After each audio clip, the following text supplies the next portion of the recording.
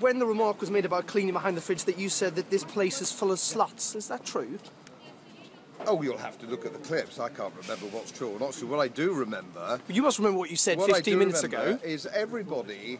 Everybody, uh, I think all the girls said, no, none of us clean behind the fridge. I must say I.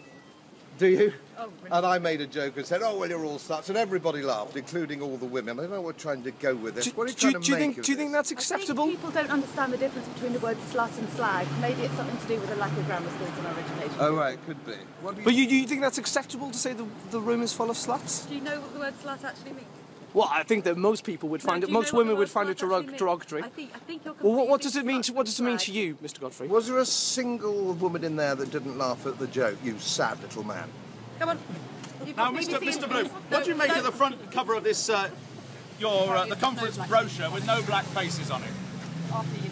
What a racist comment is that? How dare you? That's an appalling thing to say. You're picking people out for the colour of their skin. You disgust me. Get out of my way.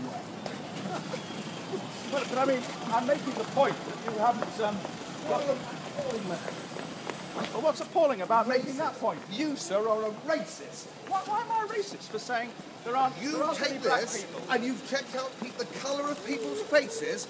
Disgraceful. You're disgraceful. What's,